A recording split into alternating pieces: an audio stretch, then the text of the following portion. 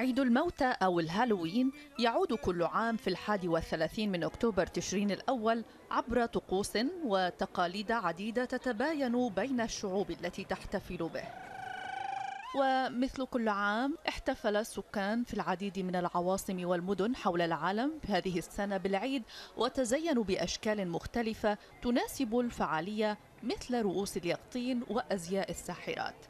يعود أصل الهالوين إلى مهرجان سامهين وهو مهرجان ديني كاثوليكي في بريطانيا وأجزاء من أوروبا.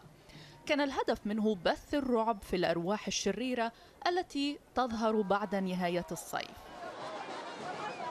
والاعتقاد السائد يفترض أن هذا التوقيت بالتحديد يتداخل فيه عالم الأموات بالعالم الحقيقي مما يدفع بالأرواح للنهوض من موتها ومشاركة بقية البشر حياتها.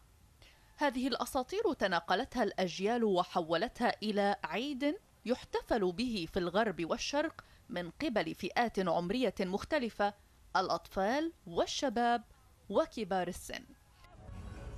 خلال السنوات القليلة الماضية بدأ الهالوين يغزو العالم العربي وأصبح كثيرون يحتفلون به. وسائل التواصل الاجتماعي ساهمت في ذلك. في فعاليات الاحتفال وصور أزياء المحتفلين وخاصة بعض المشاهير العرب.